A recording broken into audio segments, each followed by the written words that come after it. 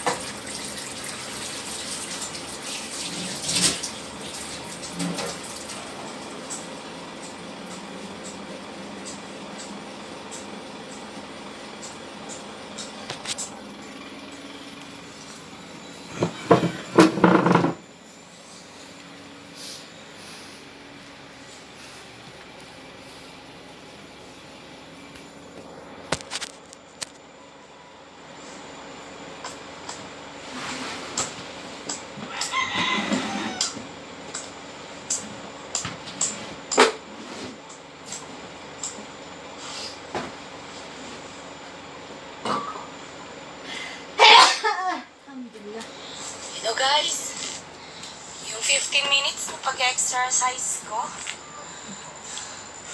Ganito guys. Yung resulta. Okay. Bye-bye. Bye-bye for now.